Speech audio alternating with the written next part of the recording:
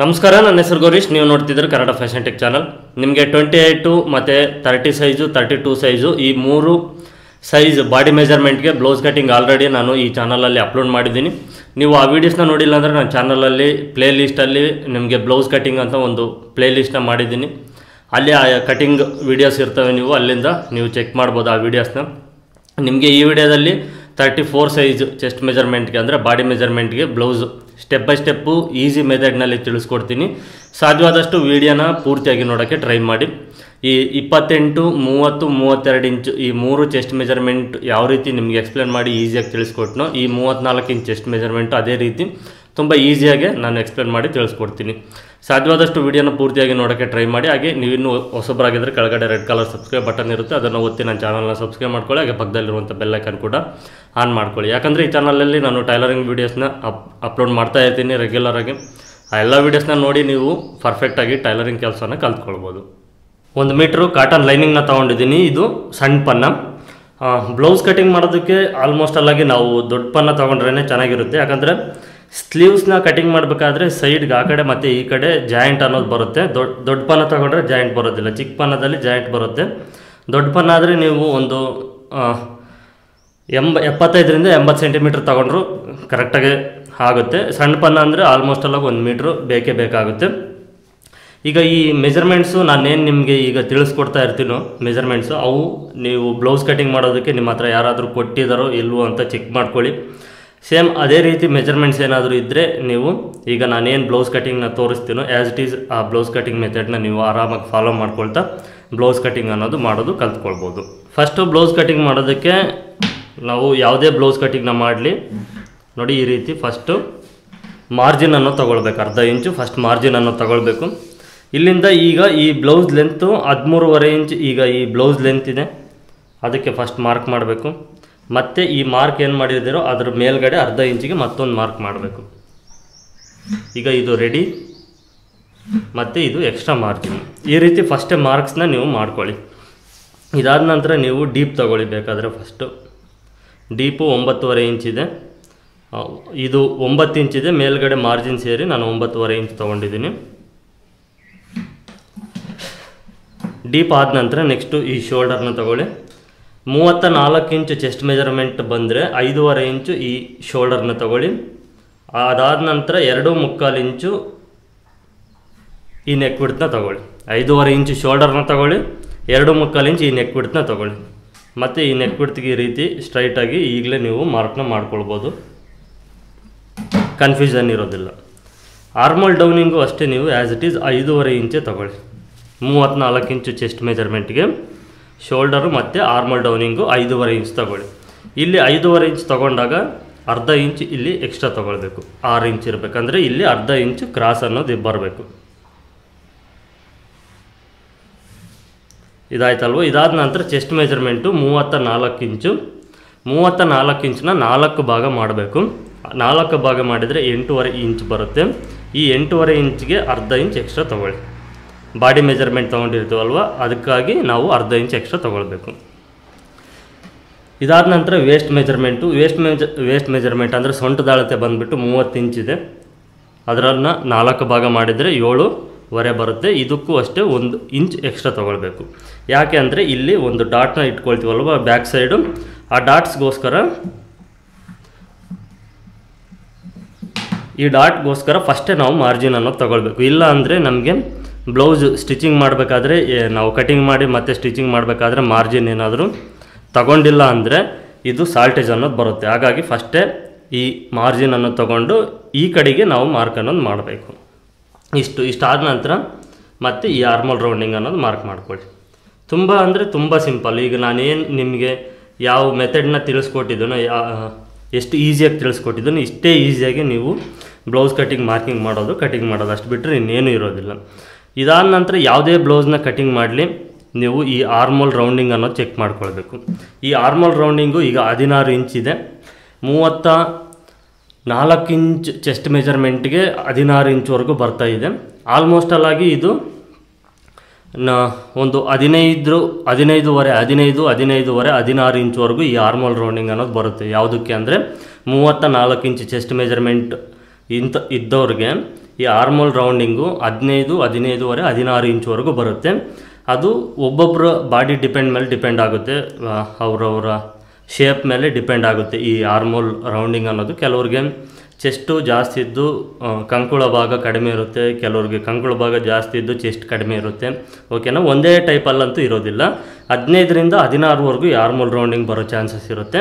ಹಾಗಾಗಿ ನೀವು ಈ ಆರ್ಮೋಲ್ ರೌಂಡಿಂಗ್ನ ಮೆಜರ್ಮೆಂಟ್ ತಗೊಂಡಾಗ ಚೆಕ್ ಮಾಡ್ಕೊಳ್ಬೇಕು. ಚೆಕ್ ಮಾಡಿಕೊಂಡು ಕರೆಕ್ಟಾಗಿದ್ದರೆ ಮಾತ್ರ ಕಟ್ ಮಾಡಿ ಕರೆಕ್ಟಾಗಿಲ್ಲ ಜಾಸ್ತಿ ಬರ್ತಾ ಇದೆ ಇಲ್ಲ ಕಡಿಮೆ ಬರ್ತಾ ಇದೆ ಅಂದರೆ ಮತ್ತೆ ಈ ಮಾರ್ಕಿಂಗ್ಸ್ನ ಒಂದು ಸ್ವಲ್ಪ ಆಲ್ಟ್ರೇಷನ್ ಮಾಡಿಕೊಂಡು ಕಟ್ ಮಾಡಬೇಕು. ಈ ಆಲ್ಟ್ರೇಷನ್ ಯಾವ ರೀತಿ ಮಾಡ್ಕೊಳ್ಬೇಕಂತಲೂ ನಾನು ಪ್ರತಿ ವಿಡಿಯೋದಲ್ಲೂ ನಿಮಗೆ ತಿಳಿಸ್ತಾನೆ ಬಂದಿದ್ದೀನಿ. ನೀವು ನನ್ನ ವೀಡಿಯೋಸ್ನ ರೆಗ್ಯುಲರಾಗಿ ಫಾಲೋ ಮಾಡ್ತಾಯಿದ್ರೆ ನಿಮಗೆ ಅರ್ಥ ಆಗುತ್ತೆ. ಹೊಸ್ದಾಗಿ ಯಾರಾದರೂ ನೋಡ್ತಾ ಇದ್ದರೆ ನೀವು ನನ್ನ ಹಳೆ ವೀಡಿಯೋಸ್ನ ನೋಡಿ ಅದರಲ್ಲಿ ನಾನು ಕ್ಲಿಯರಾಗಿ ಎಕ್ಸ್ಪ್ಲೇನ್ ಮಾಡಿ ತಿಳಿಸ್ಕೊಟ್ಟಿದ್ದೀನಿ. ಇಷ್ಟು ಮೂವತ್ತ್ನಾಲ್ಕು inch blouse cutting back part cut ಮಾಡೋದು. ಇಷ್ಟು ಬಿಟ್ಟರೆ ಇನ್ನೇನು ಇರೋದಿಲ್ಲ. ಈಗ ಈ ಮಾರ್ಕಿಂಗ್ಸ್ ಏನಿದಾವೋ ಈ ಮಾರ್ಕಿಂಗ್ಸ್ಗೆ ಆ್ಯಸ್ ಇಟ್ ಈಸ್ ಕಟಿಂಗ್ ಮಾಡ್ಬೋದು.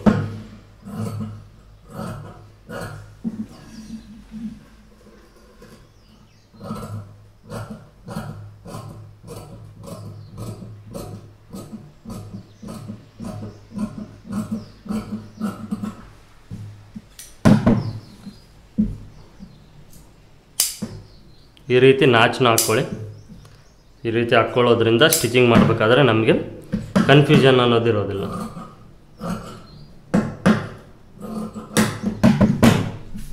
ಈಗ ಈ ಬ್ಯಾಕ್ ಪಾರ್ಟ್ನ ಕಟಿಂಗ್ ಮಾಡಿದ್ವಲ್ವ? ನೆಕ್ಸ್ಟು ಫ್ರಂಟ್ ಸೈಡ್ ಪಾರ್ಟು ಈ ಫ್ರಂಟ್ ಸೈಡ್ ಪಾರ್ಟ್ಗೆ ಈ ಬ್ಯಾಕ್ ಸೈಡ್ ಪಾರ್ಟ್ನ ಈ ರೀತಿ ಹಾಕ್ಕೊಳ್ಬೇಕು ಮತ್ತು ಈ ಅಂಚ್ ಪೀಸ್ ನೋಡಿ ಈಗ ನನ್ನ ಕಡೆ ಇದೆ. ಫಸ್ಟು ಬ್ಯಾಕ್ ಸೈಡ್ ಪಾರ್ಟ್ನ ಕಟ್ ಮಾಡಿದಾಗ ಈ ಫೋಲ್ಡಿಂಗ್ ಇರುತ್ತೆ. ಫ್ರಂಟ್ ಸೈಡ್ ಪಾರ್ಟ್ನ ಕಟಿಂಗ್ ಮಾಡಬೇಕಾದ್ರೆ ಈ ಫೋಲ್ಡಿಂಗ್ ಅನ್ನೋದು ಈ ಕಡೆ ಸೈಡ್ ಇರುತ್ತೆ. ಇಲ್ಲಿಂದ ಅಂಚ್ ಪೀಸ್ ಏನಿರುತ್ತೆ, ಇಲ್ಲಿಂದ ಒಂದು ಒಂದೂವರೆ ಇಂಚ್ ಮುಂದ್ಗಡೆ ಬಿಟ್ಕೊಳ್ಳಿ. ಯಾಕಂದರೆ ಈ ಅಂಚ್ ಪೀಸ್ ಅನ್ನೋದು ಸಿಂಕ್ ಆಗಿರುತ್ತೆ. ಹಾಗಾಗಿ ನೆಕ್ಸ್ಟು ಈಗ ನಾನು ಈ ಬ್ಯಾಕ್ ಸೈಡ್ ಪಾರ್ಟ್ನ ಯಾವ ರೀತಿ ಹಾಕ್ಕೊಳ್ತೀನೋ, ನಾನು ಇದು ತೋರಿಸ್ತಾ ಇರೋದು ನಿಮಗೆ ಸ್ಟ್ರೈಟ್ ಕಟ್ಟಿಂಗು ಮತ್ತು ಕ್ರಾಸ್ ಕಟ್ಟಿಂಗ್ ಅಂದ್ಕೋಬೇಡಿ ಸ್ಟ್ರೈಟ್ ಕಟ್ಟಿಂಗು ನಾನೀಗ ಬ್ಯಾಕ್ ಸೈಡ್ ಪಾರ್ಟ್ನ ಯಾವ ರೀತಿ ಹಾಕ್ಕೊಂಡು ಮಾರ್ಕಿಂಗ್ಸ್ನ ಮಾಡಿ ಫ್ರಂಟ್ ಸೈಡ್ ಕಟಿಂಗ್ ಮಾಡ್ತೀನೋ, ನೀವು ಅದೇ ರೀತಿಯೇ ಫಾಲೋ ಮಾಡಿ. ನೋಡಿ ಈ ರೀತಿ ಬ್ಯಾಕ್ ಸೈಡ್ ಪಾರ್ಟ್ನ ಹಾಕ್ಕೊಂಡಾಗ ನಾನು ಯಾವ ರೀತಿ ಕಟ್ಟಿಂಗ್ ಮಾಡ್ತೀನಿ ಅಂದರೆ, first full length back side full ಲೆಂತ್ಗೆ mark ಮಾಡ್ಕೊಳ್ತೀನಿ. ಇದು ರೆಡಿ ಲೆಂತು ಓಕೆನಾ ಇದಾದ ನಂತರ ಈ ಶೋಲ್ಡರ್ಗೆ ಮಾರ್ಕ್ ಮಾಡ್ತೀನಿ. ಮತ್ತು ಈ ಆರ್ಮೋಲ್ ರೌಂಡಿಂಗು ಇದನ್ನು ನಾವು ಸಿಜರಿಂದ ಡೈರೆಕ್ಟಾಗಿ ಕಟ್ ಮಾಡ್ಕೊಳ್ಬೋದು. ಬಟ್ ನಿಮಗೆ ಹೊಸದಾಗಿ ಕಲಿಯೋರಿಗೆ ಅರ್ಥ ಆಗಲಿ ಅಂತ ಫಸ್ಟ್ ಮಾರ್ಕ್ ಮಾಡ್ತಾ ಇದ್ದೀನಿ.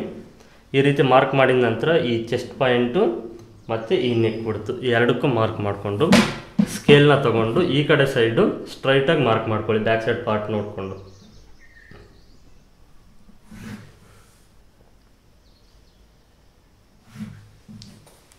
ಈ ಬ್ಯಾಕ್ ಸೈಡ್ ಪಾರ್ಟ್ ಫೋಲ್ಡಿಂಗ್ ಇರುತ್ತಲ್ವ ಅದಕ್ಕೆ ಕರೆಕ್ಟಾಗಿ ಸ್ಟ್ರೈಟಾಗಿ ಮಾರ್ಕ್ ಅನ್ನೋದು ಮಾಡ್ಕೊಳ್ಬೇಕು. ಈಗ ಈ ಬ್ಯಾಕ್ ಸೈಡ್ ಲೆಂತ್ ಏನಿದೆಯೋ, ಈ ಬ್ಯಾಕ್ ಸೈಡ್ ಲೆಂತ್ಗೆ ಫಸ್ಟ್ ಸ್ಟ್ರೈಟಾಗಿ ಒಂದು ಮಾರ್ಕ್ನ ಮಾಡ್ಕೊಳ್ಳಿ. ಇದು ಚೆಸ್ಟ್ ಪಾಯಿಂಟು, ಇದು ಬಂದ್ಬಿಟ್ಟು ನೆಕ್ ಬಿಡ್ತು ಓಕೆನಾ ಇಷ್ಟು. ಬ್ಯಾಕ್ ಸೈಡ್ ಪಾರ್ಟ್ನ ನಾವು ತಗೊಂಡು ಫ್ರಂಟ್ ಸೈಡ್ ಪಾರ್ಟ್ನ ಮಾರ್ಕ್ ಮಾಡಬೇಕಾದ್ರೆ ಇಷ್ಟು ಮಾರ್ಕ್ನ ಮಾಡಿಕೊಂಡು ನಂತರ ಮೂವತ್ತ ನಾಲ್ಕು ಇಂಚು ಚೆಸ್ಟ್ ಮೆಜರ್ಮೆಂಟ್ ಇದ್ದರೆ ಈಸಿಯಾಗಿ ತಿಳಿಸ್ಕೊಡ್ತೀನಿ ನೋಡಿ. ಈ ಮೇಲ್ಗಡೆ ಮಾರ್ಕಿಂದ ಸೇರಿಕೊಂಡು ನೀವು ಒಂಬತ್ತುವರೆ ಇಂಚು ಈ ಡಾಟ್ನ ತಗೊಳ್ಳಿ. ಈ ಮೇಲ್ಗಡೆ ಮಾರ್ಕಿಂದ ಸೇರಿಕೊಂಡು ಒಂಬತ್ತುವರೆ ಮತ್ತು ಅರ್ಧ ಇಂಚ್ ಎಕ್ಸ್ಟ್ರಾ ಹತ್ತು ಇಂಚ್ವರೆಗೂ ಈ ಡಾಟ್ನ ತೊಗೊಳ್ಬೇಕು. ರೆಡಿ ಎಂಟೂವರೆ ಇಂಚು ಮತ್ತು ಒಂದು ಇಂಚ್ ಎಕ್ಸ್ಟ್ರಾ ಮತ್ತು ಮೇಲ್ಗಡೆ ಹಾಫ್ ಇಂಚು ಸೇರಿಸ್ಕೊಂಡು ತಗೊಂಡಿದ್ದೀವಿ ಹಾಗಾಗಿ ನಿಮಗೆ ಕನ್ಫ್ಯೂಷನ್ ಏನು ಬೇಡ ಅಂದರೆ ಮೇಲ್ಗಡೆ ಮಾರ್ಕಿಂದ ಡೈರೆಕ್ಟಾಗಿ ಹತ್ತು ಇಂಚಿಗೆ ಮಾರ್ಕ್ ಮಾಡಿ. ಓಕೆನಾ ಮೇಲ್ಗಡೆ ಈ ಮಾರ್ಕಿಂದ ಡೈರೆಕ್ಟಾಗಿ ಹತ್ತು ಇಂಚಿಗೆ ಮಾರ್ಕ್ ಮಾಡಿ. ಇಲ್ಲಿಂದ ಡೈರೆಕ್ಟಾಗಿ ಮೂರು ಇಂಚಿಗೆ ಮಾರ್ಕ್ ಮಾಡಿ. ಇಷ್ಟು ನಾನು ಮಾರ್ಕ್ ಮಾಡಿದ ನಂತರ ಈ ಶೋಲ್ಡರ್ ಇದೆಯಲ್ವ? ಈ ಸೆಂಟ್ರಿಗೆ ಈ ರೀತಿ ಸ್ಕೇಲ್ನ ಇಟ್ಕೊಂಡು ಈ ಸೆಂಟ್ರ್ ಪಾಯಿಂಟ್ನ ಮಾರ್ಕ್ ಮಾಡ್ಕೊಳ್ಳಿ. ಈ ಶೋಲ್ಡರ್ ಸೆಂಟ್ರಿಗೆ ಈ ಸೆಂಟ್ರ್ ಪಾಯಿಂಟ್ನ ಮಾರ್ಕ್ ಮಾಡಿಕೊಂಡ ನಂತರ ಒಂದು ಇಂಚು ಒಂದು ಪಾಯಿಂಟ್ ವರ್ಗ್ ವರೆಗೂ ಈ ಡಾಟ್ನ ತಗೊಳ್ಬೇಕು. ತಗೊಂಡು ಇದಕ್ಕೆ ಸ್ಟ್ರೈಟಾಗಿ ಫಸ್ಟ್ ಮಾರ್ಕ್ನ ಮಾಡ್ಕೊಳ್ಳಿ. ಒಂದೊಂದು ಡಾಟ್ನೇ ಸಪ್ ಸಪ್ರೇಟಾಗಿ ನೀವು ಫಸ್ಟ್ ಮಾರ್ಕ್ ಅನ್ನೋದು ಮಾಡ್ಕೊಳ್ಬೇಕು. ಈ ಡಾಟ್ನ ಮಾರ್ಕ್ ಮಾಡಿಕೊಂಡ ನಂತರ ಡೀಪು ಡೀಪು ಆರು ಕಾಲು ಇಂಚಿದೆ. ರೆಡಿ ಆರು ಕಾಲು ಇಂಚಿದೆ ಮೇಲ್ಗಡೆ ಅರ್ಧ ಇಂಚ್ ಮಾರ್ಜಿನ್ ಸೇರಿಕೊಂಡು ನಾನು ಆರು ಮುಕ್ಕಾಲು ಇಂಚಿಗೆ ಮಾರ್ಕ್ ಮಾಡಿದ್ದೀನಿ.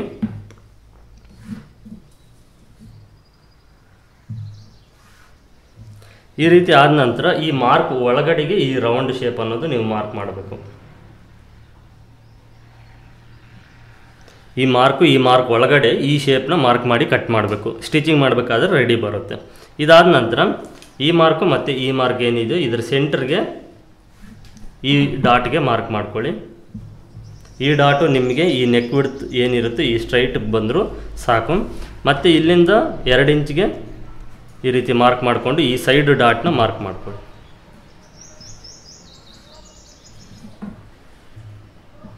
ಫೋರ್ತ್ ಡಾಟು ಫೋರ್ತ್ ಡಾಟ್ ಬೇಕು ಅಂದರೆ ಈ ಸೆಂಟ್ರ್ ಡಾಟಿಂದ ಎರಡೂವರೆ ಇಂಚ್ಗೆ ಮಾರ್ಕ್ ಮಾಡಿಕೊಂಡು ಈ ಫೋರ್ತ್ ಡಾಟ್ನ ಮಾರ್ಕ್ ಮಾಡ್ಕೊಳ್ಳಿ.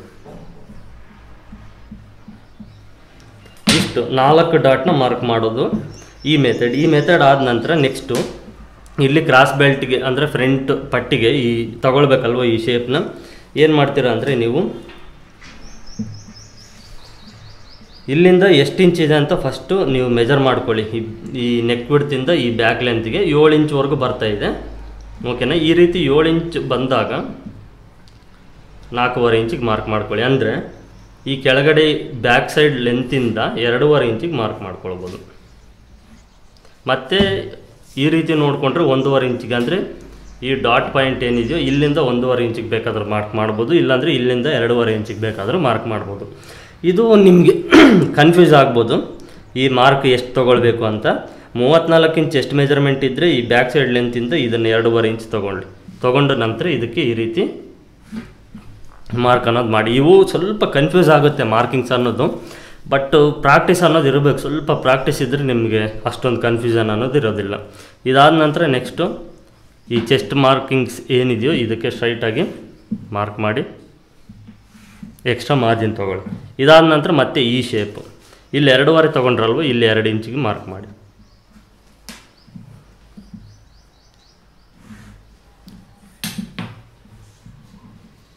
ಇದು ಫ್ರಂಟ್ ಸೈಡ್ ಮಾರ್ಕಿಂಗ್ ಮಾಡುವಂಥದ್ದು. ಇದಾದ ನಂತರ ನೆಕ್ಸ್ಟು ನೀವು ಈ ಫ್ರಂಟ್ ಸೈಡ್ ಅಪ್ಪರ್ ಚೆಸ್ಟ್ನ ಚೆಕ್ ಮಾಡ್ಕೊಳ್ಳಿ ಇದನ್ನು. ಇದು ಕರೆಕ್ಟಾಗಿ ಚೆಕ್ ಮಾಡಿಕೊಂಡು ನಿಮಗೆ ಪರ್ಫೆಕ್ಟಾಗಿ ಇದೆ ಅಂದ್ರೇ ಕಟಿಂಗ್ ಮಾಡಿ. ಈಗ ನೋಡಿ ಒಂಬತ್ತು ಇಂಚ್ ಬರ್ತಾ ಇದೆ. ನಮಗೆ ರೆಡಿ ಎಂಟೂವರೆ ಇಂಚ್ ಬೇಕು ಅಪ್ಪರ್ ಚೆಸ್ಟು ಇಲ್ಲಿ ಅರ್ಧ ಇಂಚ್ ಡಾಟ್ ಹಿಡಿದಾಗ ರೆಡಿ ಎಂಟೂವರೆ ಇಂಚ್ ಬರುತ್ತೆ. ಸಿಂಪಲ್ ಇದನ್ನು ಈಗ ಈಸಿಯಾಗಿ ಕಟಿಂಗ್ ಅನ್ನೋದು ಮಾಡ್ಬೋದು, ಧೈರ್ಯವಾಗಿ. ಯಾವುದೇ ಆಲ್ಟ್ರೇಷನ್ ಅನ್ನೋದು ಬರೋದಿಲ್ಲ.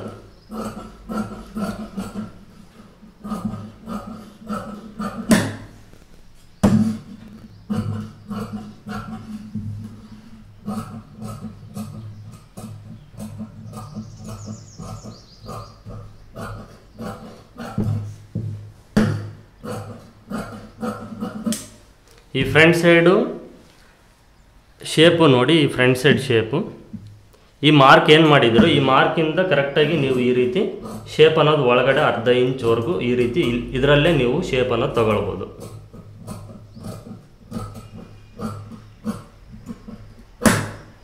ಈಗ ನೋಡಿ ನಾನು ತೊಗೊಂಡಿದ್ದೀನಲ್ವ? ಈ, ಇದು ಬ್ಯಾಕ್ ಸೈಡು ಶೇಪು ಮತ್ತು ಇದ್ರ ಒಳಗಡೆ ಫ್ರಂಟ್ ಸೈಡ್ ಶೇಪ್ನ ತಗೊಂಡಿದ್ದೀನಿ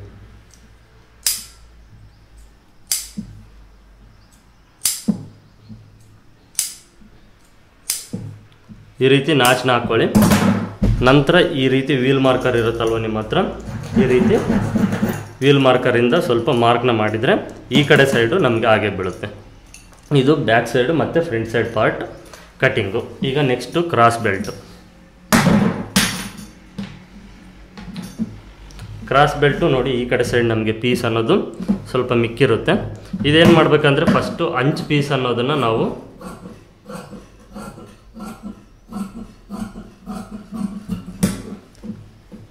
ಈ ರೀತಿ ಅಂಚು ಪೀಸ್ನ ಫಸ್ಟ್ ಕಟ್ ಮಾಡಿ ಹೊರಗಡೆ ತೆಗಿಬೇಕು.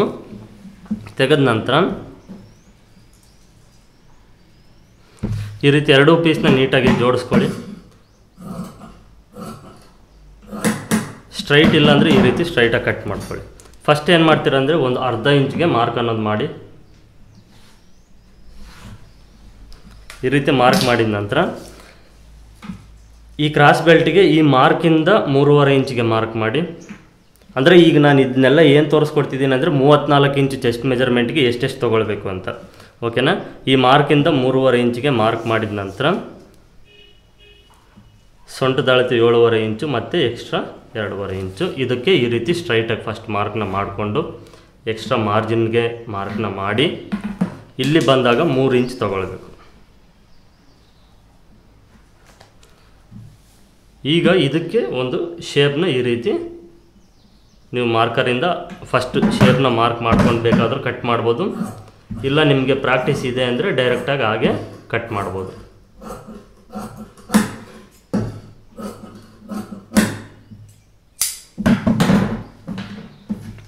ಇದು ಕ್ರಾಸ್ ಬೆಲ್ಟು ಫ್ರಂಟು ಬ್ಯಾಕು ಮತ್ತು ಕ್ರಾಸ್ ಬೆಲ್ಟು ಆಯಿತು, ಈಗ ಸ್ಲೀವ್ಸ್ ಕಟ್ ಮಾಡಿ ತೋರಿಸ್ತೀನಿ. ಸ್ಲೀವ್ಸ್ಗೋಸ್ಕರ ಈ ಅಂಚ್ ಪೀಸ್ ಇರುತ್ತಲ್ವ? ನೋಡ್ಕೊಂಡಿರಿ, ಇದನ್ನು ಈ ರೀತಿ ಇನ್ನೊಂದು ಫೋಲ್ಡಿಂಗ್ ಅನ್ನೋದು ಮಾಡಿ. ನಾಲ್ಕು ಫೋಲ್ಡಿಂಗ್ನ ಮಾಡಿ. ಮಾಡಿದ ನಂತರ ಈ ಅಂಚ್ ಪೀಸ್ನ ಫಸ್ಟು ಸ್ಟ್ರೈಟಾಗಿ ಮಾರ್ಕ್ ಮಾಡಿ ಕಟ್ ಮಾಡಿ ಬಿಸಾಕಿ.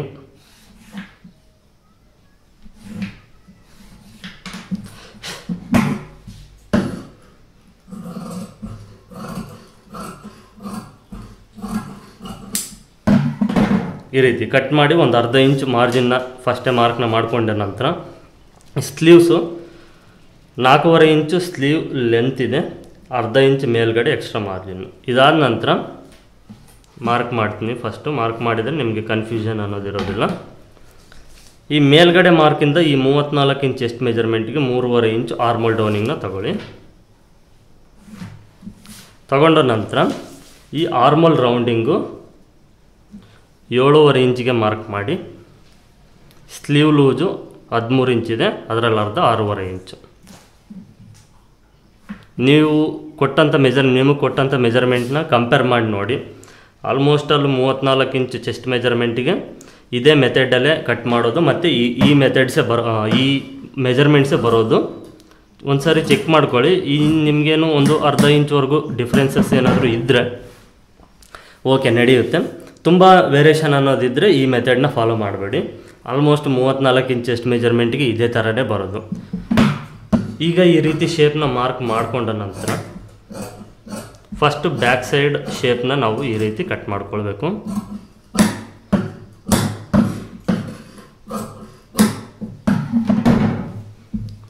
ಈಗ ಇದರಲ್ಲೇ ಫ್ರಂಟ್ ಸೈಡ್ ಶೇಪ್ನ ಕಟ್ ಮಾಡಬೇಕು. ಅದನ್ನು ಈ ರೀತಿ ಫೋಲ್ಡಿಂಗ್ನ ಹೊರಗಡೆ ತೆಗೆದು ಈ ಮಾರ್ಕರಿಂದ ಅರ್ಧ ಇಂಚ್ ಒಳಗಡೆ ನೋಡಿ ಈ ರೀತಿ ಮಾರ್ಕ್ ಅನ್ನೋದು ಮಾಡ್ಕೊಳ್ಳಿ.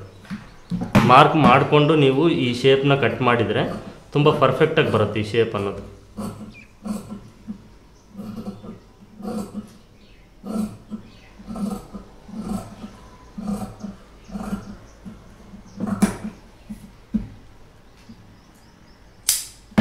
ಮತ್ತೆ ಇದನ್ನು ಈ ರೀತಿ ಫೋಲ್ಡ್ನ ಮಾಡ್ಕೊಳ್ಳಿ.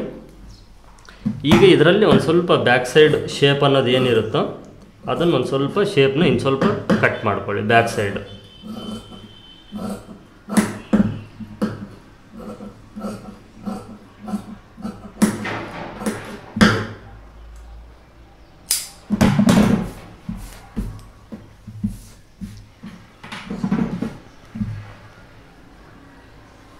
ಇದು ನಿಮಗೆ ಬ್ಯಾಕ್ ಸೈಡ್ ಪಾರ್ಟ್ ಕಟಿಂಗು ಮತ್ತು front side part cutting cross belt cutting ಕಂಪ್ಲೀಟಾಗಿ ಲೈನಿಂಗ್ ಮೇಲೆ ಡೈರೆಕ್ಟಾಗಿ ತೋರಿಸಿದ್ದೀನಿ.